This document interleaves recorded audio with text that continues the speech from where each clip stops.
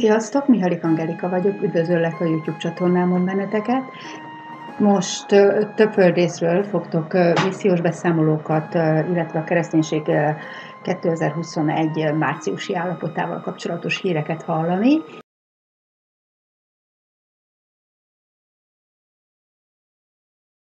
Grace Life Church since February 14th. Now, that was the date of the last sermon given by Pastor James Coates to his congregation west of Edmonton, Alberta, before he turned himself in to provincial authorities for violating a coronavirus public health order. Now, he turned himself in the following Tuesday, February 16th. And Pastor Coates, well, he was just recently released, actually last Monday, after serving 35 days in a maximum security provincial facility for violating a public health order that would force him to limit his congregation to just 15% of fire code capacity, but also force his congregation into masks and force them to social distance from each other, something he and his congregation both say absolutely violates their freedom to practice their religion. On February 14th, I spoke with Pastor Coates in his office about what he possibly faced the following Tuesday. You see, Pastor Coates had been previously fined and also arrested and released the prior week for violating the public health orders. Pastor Coates knew on the 14th that he could indeed face jail time, and yet he sat down with me as his last interview to explain his motivations and why he felt that his act of obedience to God rather than obedience to the government was the only recourse that he had as a faithful Christian. Now, this past Sunday was Pastor Coates' first Sunday back at his church since his release from provincial custody. And I've never seen anything like it. Now, his congregation did carry on without him under the shepherding of Associate Pastor Jake Spence. But Pastor Coates was greatly missed by his congregation that cares so deeply about Pastor Coates and his family, and they so appreciate the sacrifice he and his family, his wife Erin, and his two boys made for religious freedom. Though police and Alberta Health Services did try to enter the church on Sunday, elders did not let them in to disrupt the service, something that if the police had done it, would have actually violated the Criminal Code of Canada, Section 176.2. Now, incarceration for the crime of giving a religious service to a completely willing congregation without limits. Once I got into GP, which is general public, I would have guys often come to my door and want to speak with me and would share difficulties in their life with me and I would share the gospel with them. I mean, we'd be talking through a door to each other. Um, but I would share the gospel with them. So that happened often where guys would just come to me there was a gentleman next door to me and he wanted me to do a Bible study. So I went down to the floor. I was on tier three. And so we went to the floor where there's tables and sat down, he and I. Within about 60 seconds, three or four of the guys sat down with us. And, and, and there we are in the Gospel of John having a Bible study. And, um, yeah, I had lots of opportunities to share the gospel. I didn't get a lot of opportunities with the guards because you're, you're at a bit of a distance away from the guards. And just to kind of show, um, the affection that we had for each other. I was leaving. I turned around. Uh, I was at the exit entrance to the whole pod. I turned around and I lifted up my hand to wave, and uh, and the doors of the, the the pod began to shake as the men in their in their cells just banged on their doors as a sign of um, support, uh, love, affection, and uh, I was with the chaplain actually when that happened, and he's emailed me since then and just shared with me that he'll never forget that moment, and it was precious to me as well. And so um, that just gives you a little bit of a picture of the way that they uh, thought toward me and, and treated me. My question, I guess, is given that you've already been to jail for seven weeks and the police were here today, would you do all of this all over again? Well, the answer is absolutely. Um, I couldn't do any different than I did. I was put in a position that demanded a certain response for me to be obedient to Christ. And um, yeah, absolutely. I would do the exact same thing again in a heartbeat. I, I couldn't do any differently than I did. I've, I've honored my word and my integrity and my conscience, and more importantly, my Lord and Savior, Jesus Christ, the entire time. Now, I've heard some of the critics of Grace Life, and probably yourself too, say that this is, you know, sort of a stunt for fame or glory or money. How would you address that criticism? so I understand that. I think, I think in our world we are so used to people doing things for vainglory. We we are not used to seeing men, women of conviction that will take a principled stand based on real conviction tethered to reality as it is because Jesus Christ is the King of Kings and Lord of Lords and uh, and so I, I get it. They don't know me. And so looking from afar, I can totally get it. I can totally understand it. Being suspicious, just being, just thinking something uh, that this is suspect on my end. I get that. But, and I don't even know if I really care, to be honest with you. Um, this is not about what other people think. This is about the Lord Jesus Christ. And so I am here to please Him, honor Him, glorify Him where the chips fall thereafter is out of my hands, and uh, and so I get it, I, I understand it, but they just don't know me and um, don't know my heart, and and just can't understand what I'm doing because they've never seen anything like this before. Now, I know every week was uh, was difficult for me. Um, it is disruptive. It affects my ability to carry out my responsibility to the Lord. You know, in some ways, being in jail wasn't much of a difference because I haven't been free for months. With AHS and the RCMP breathing down my neck for for months, going into jail was actually reprieve from that. And so um, I'm thankful to be out of jail, but to be here today and to see them still wanting to enforce when this is in the court system, there's clearly a dispute. The dispute needs to play out. Let's let the dispute play out. Um, so I don't know what my message is. Obviously, I would want them to come to know Christ. I would want them to turn from their sin and believe on the Lord Jesus Christ and be saved. I I have a heart that is full of forgiveness to anyone who's wronged me. And so I, I harbor no unforgiveness toward anyone. And so I guess that would be it at the end of the day is I would just love for them to be reconciled to God through his son, the Lord Jesus Christ. Well, Pastor, you've been very generous with your time, and I know this is your first interview since you got out of jail. I want to ask you what your message would be to other pastors like yourself their churches aren't open or they're complying with the Alberta Health Services code. And for that, they're turning away members of their congregation. Do you have a message for them? Well, that's difficult too, because um, just because a building has the title church on it doesn't mean it's a true church. And to the extent that churches that aren't churches are closed, um, I can take some joy in that. I don't want false churches to be open. And so it's difficult. I mean, I would need to speak with each individual pastor, understand their context, their situation, what they're going through in particular. It's the men that I'm in fellowship with, the men that I know are preachers of the gospel who are approaching the pandemic differently.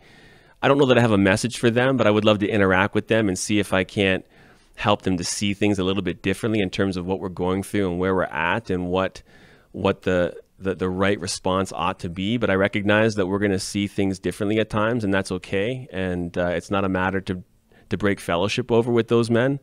I love them and um, and and support them. So it's difficult. I don't think there's a one size fits all message in this situation. Um, just immensely grateful. Received so many letters, um, emails. The support that's poured in is just uh, overwhelming and so I'm just I'm thankful for the prayers, the well wishes, everything that has come to us in this time. Um, I want to be uh, faithful to the Lord, and to the extent that that blesses others, I take an immense joy in that. I really live for for two reasons: one, to see people saved, and two, to see them sanctified.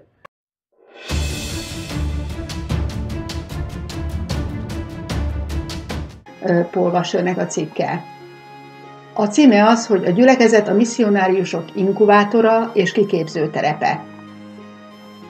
Máté 28.19 írja, menjetek el tehát, tegyetek tanítványán minden népet, megkeresztelve őket az atyának, a fiúnak és a szentléleknek nevében.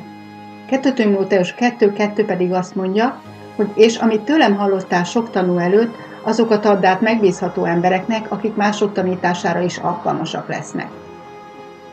És 1 Timóteus 5.22-ben pedig azt írja az ige, hogy a kézrátételt ne siessd el senkinél.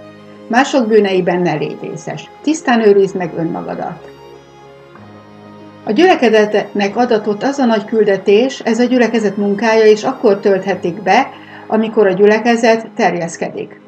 A biblikus missziót akár úgy is leírhatjuk, hogy egy vagy több gyülekezet, egy biblia alapján kiképzett misszionárius, egy hasonló hitet valló és ugyanilyen gyakorlatot folytató gyülekezet alapítására és táplálására kiküldi. Éppen emiatt a nagy küldetés vagy missziók nem érthetőek meg a gyülekezet tana nélkül. Tulajdonképpen a missziológiát nem egy önálló, független tantárként, hanem úgy kellene tanítani, mint a gyülekezet tan egyik alfejezetét. A következő néhány cikkben a helyi gyülekezetnek a nagy küldetésben betöltött elsődleges szerepével fogunk foglalkozni. A gyülekezet tehát a misszionáriusok inkubátora és kiképző terepe. Bár Isten képes akár a legjobb és legrosszabb misszionárius életrajzokat, missziós konferenciákat és mindenféle ifjúsági programokat arra használni, hogy embereket a missziós mezőre hívjon, mégis a misszionáriusok inkubátora a helyi gyülekezet. Egy biblikus gyülekezet Isten kezeiben egy hatalmas, erős eszköz.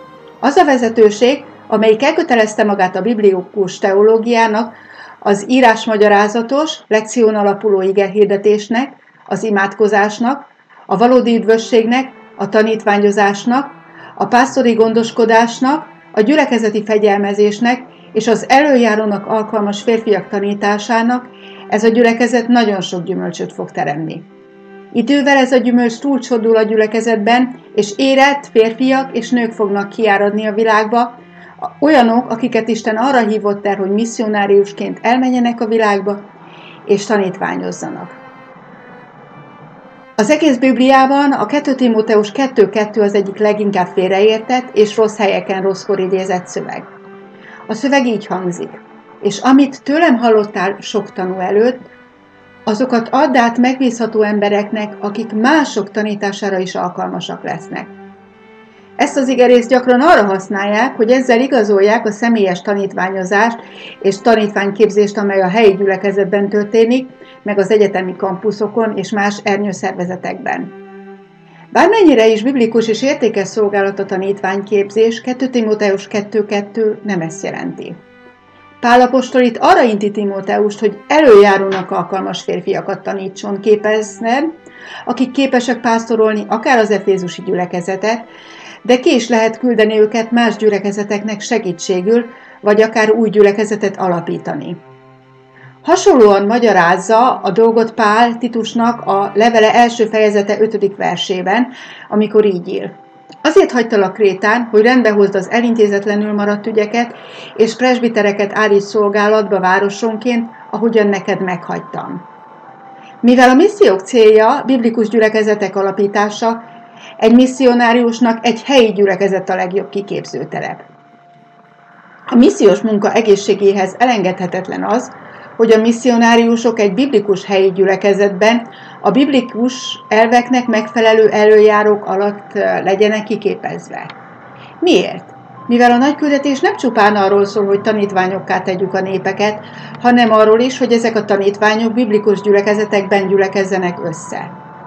Mivel a misszionáriusi erőfeszítések célja biblikus gyülekezetek alapítása, egy misszionáriusnak egy helyi gyülekezet a legjobb kiképző terepe. Szilárdan meg vagyok erről győződve. Emellett persze nem tilos az előjáróknak és a helyi gyülekezeteknek az, hogy együttműködjenek bibliai szervezetekkel, teológiaikkal és egyetemekkel. Habár a liberalizmus és szekularizáció korában élünk, Isten fenntartott magának sok olyan intézményt, amelyik nem hódol be a világ bálványainak, hanem még mindig hiszi azt, hogy a Biblia Isten tévedhetetlen igéje. Ezekben az intézményekben rengeteg olyan ember van, akit az életét a Szentírás, a nyelvek, az egyháztörténelem, a régészet, a missziók és hasonlók tanulmányozásával töltötte. Legjobb esetben nem törődömség, de tulajdonképpen akár bűn is lehet az, ha a helyi gyülekezetek és előjárók mellőzik ezeket a forrásokat. Az ezekkel a szervezetekkel történő együttműködés során azonban egy gyülekezet és az előjárók úgy adják át az egyik tagjukat akár a legjobb iskoláknak vagy teológiáknak, ahogyan a szülő küldi el a gyermekét az iskolába vagy tanárhoz. A kollégiumok és iskolák nagy segítséget jelenthetnek egy gyülekezet számára, de nem a gyülekezet, nem helyettesítik a gyülekezetet, és nem végezhetik a gyülekezet munkáját. Annak ellenére, hogy nagyszerű, istenfélő és odaszánt tanárok lehetnek nagy hatással a tanítványaikra, mégsem a pásztorai ezeknek a diákoknak ezek a tanárok. Emellett a hívők tanutványozása több a puszta tanulásnál magában foglalja a hívők közösségében, azaz a helyi gyülekezetben történő olyan fejlődést, hogy ahol a Krisztusi jellem felépül és táplálódik. Hasonlóképpen a misszionáriusok képzése is több a biblikus tudás megszerzésénél. Magában foglalja ennek a tudásnak a helyi gyülekezet plántálása és építése során történő alkalmazását is. Hogyan alapíthatsz gyülekezetet a világ bármely tájékán? Ugyanúgy, ahogyan egy gyülekezetet pásztorolsz. Végzed az evangélista munkáját, és pásztorolod azokat, akik megtértek. Ezt a legjobban egy biblikus gyülekezetben és azok előjárói alatt lehet megtanulni. Időnként a teológiákat és missziós társaságokat az a vád éri, hogy túlterjeszkednek a határaikon, és elbitorolják a gyülekezet szerepét.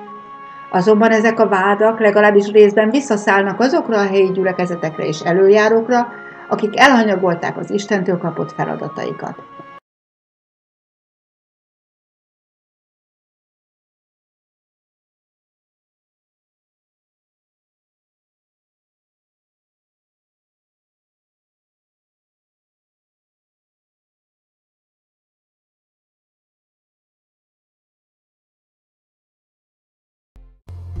Most pedig Afrika következik, Zambia. Konrád Bevének a beszámolója. A tegnapi nap nagyon lelkesítő volt nekem, a gyülekezetünk két előjárójával, Emmanuel Matapallival és Kamapbe Zsedukulával, a missziókét felelős vénekkel Komában voltunk, ez Zambia déli részén található. Azért mentünk oda, hogy befejezzük azt a gyülekezet alapítást, amit 1994-ben kezdtünk meg ott. Ez volt az az év, amikor segítségét kért tőlünk egy ottani fiatal, nehézségekkel küzdő gyülekezet. És ez már 27 éve volt. Nagyon kemény terület volt, de végre az utolsó pár hónapban sikerült a gyülekezetünk előjáróinak kiképezni, és megvizsgálni az ottani kijelölt előjárókat, és tegnap átadtuk a gyülekezetet az új előjáróinknak Komában, a mi munkánk véget ért. Ha minden a tervek szerint halad, Ebben az évben még másik három gyülekezetben kell beírni a munkánknak annyira, hogy ők is függetlené váljanak. Hip hip hurrá!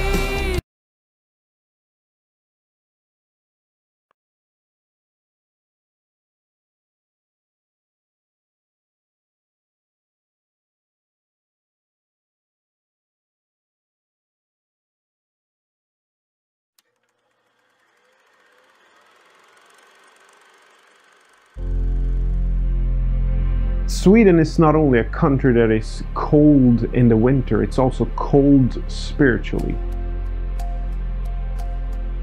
But at the same time, there's a spark of hope. There's power in the gospel, and that could warm cold hearts.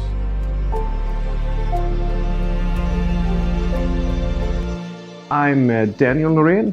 Uh, I'm a native Swede, 37 years old, uh, working in uh, suburb of Gothenburg with church planting. So I grew up on the Swedish countryside um, in a family with, with godly parents. Uh, as long as I can remember, I always believed that I was a sinner and that Jesus died for my sins. I really went through at the same time a great struggle where I saw that things that didn't match up with the Bible when I looked on the church, and it, it created a faith crisis. In the midst of this, like I studying the Bible a lot, and it just started to come alive for me. So after meeting my wife uh, in the Middle East, uh, we lived in the Middle East and North Africa for a while. And then uh, after getting some opportunities, we moved to, to Gothenburg in a, a suburb, which is predominantly uh, people from all around the world. It's 93% from an immigrant background and 104 different nationalities scattered. And a brother used to come to faith and he had a hard time finding a solid church. So he asked us if we could come and, and help him to, to, plant a church. So I'm pastoring the little church that we planted uh, together with my fellow elder. One area that I'm involved in is that we're targeting people from all around the world to reach them with the gospel. There's many unreached people groups coming to Sweden and especially in our area. So we go to this international market where we pass out gospel portions and New Testaments in more than 60 different languages and, and share the gospel with our ability. Sometimes it's a big language barrier, but if they can read it in their own languages, they can, can get it and get hold of the gospel. And it's the power of God unto salvation. My fellow elder and I, we started up something we call Equipped Sweden, where we have a yearly conference training pastors and, and leaders to be in expository preaching and we also have uh, module courses in expository preaching. Uh, on top of that, I'm the chairman for Reformedia, a non-profit book publisher. Uh, so far, we've published 12 different books, and a lot thanks to the help of HeartCry. We're very thankful for that. And we also provide a lot of internet resources. Many people like they read the Bible, but it's like what I hear the testimony of many people is that they, they don't remember what they're reading, but just to bring out resources to help them see what's there. And especially with kids, like in Sweden, we have a problem where we're losing the next generations. If you just look on all the continents in the world, Europe has the least amount of evangelicals if you count per percentage wise. And Sweden is on the forefront of this secularization. Nowadays, it's less than 2% that would regard themselves as evangelicals. And more than one evangelical church are being closed down every week. Also, we see the, the growth of Islam because of immigration. So, Islam is becoming a, stronger and stronger force. And from a secular point of view, it's becoming harder and harder to express Christian values without being uh, harassed for it. So if you want to raise your kids in a, in a Christian way, and that that's a challenge, and they get bombarded from everywhere in the society with with different values. It's not just for me as a father, but when I look around as a pastor and when I look around and, and churches around the country where we're losing the next generation, I think that's for sure the, the greatest challenge. The church is the center of, of God's plan for bringing out the gospel. And what we need more than anything else is sound, healthy, biblical churches that would proclaim the gospel and, and reach out in the community. And, and that's what would give a long lasting impact. You can, can send an evangelist and share and preach the gospel, but we need solid biblical churches. And a dream for me would be to see that once again that there would be a church that I could send people in every major city if they ask for it, where I know that when they come there, the, the preaching would be the main point of the passage and the gospel would be at the center. The greatest need in Sweden is the gospel. We need to rediscover the gospel like in the 19th century you could go to any basically any city any village and you would hear the gospel but today like it's to a big extent lost we need to rediscover the gospel since 1848 like uh, the baptist movement grew until i think it was 1918 when there was around 60,000 members of the baptist denomination But unfortunately, liberalism crept in and, and destroyed the whole denomination.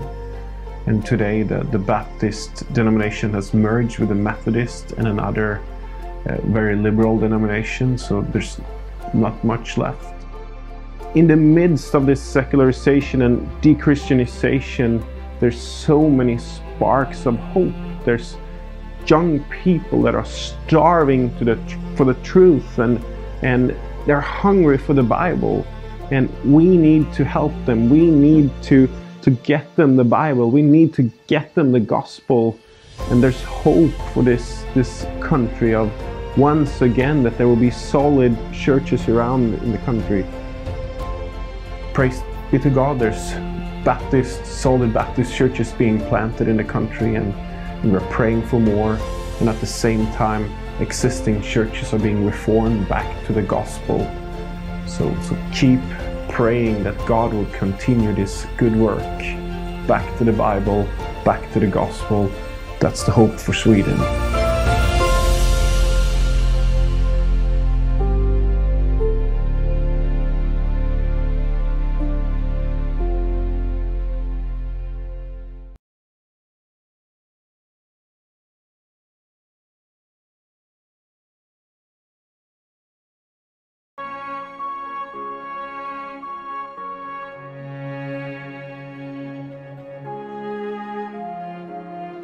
És egy rövid hír az Amerikai Egyesült Államokból, Maryland államból, Baltimoreból, illetve kettő.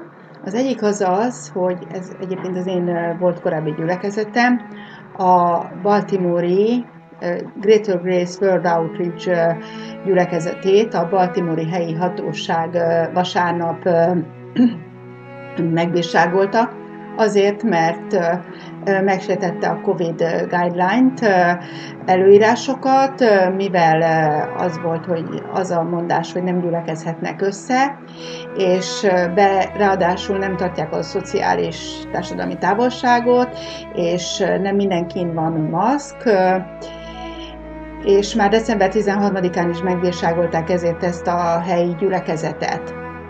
Úgyhogy ez a hír az egyik a másik a szintén ö, Maryland államból van. Ö, ö, ez ö, egy Friendship Baptist Church nevezetű gyülekezet, amelyik nem tartotta be az 50 százalékos előírást, hanem többen voltak jelen, és ezért őket is megbírságolták, és itt van a Baltimore-i Greater Grace World Outreach gyülekezetnek a Facebook oldala, ez mai oldal. Rövidesen kezdődik az élő zés, mert élőznek is, viszont tartanak alkalmakat. Egy potenciális látogató kérdezi, hogy lesz-e istentisztelet, és a válasz az, hogy abszolút lesz istentisztelet. Úgyhogy ez zajlik az Amerikai Egyesült Államokban. Köszönöm a figyelmet, sziasztok!